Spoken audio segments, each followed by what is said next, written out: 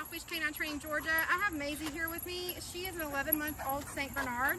She just checked in for her two week board and train program. Her owner has expressed that she's really at her wits end with Maizie. Maizie is huge and throws her weight around. She only listens when she wants to.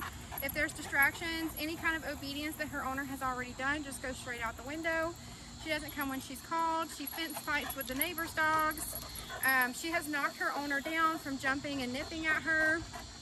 She's just a really big puppy, basically. So she does not realize how big that she is and um, has caused her owner a lot of stress.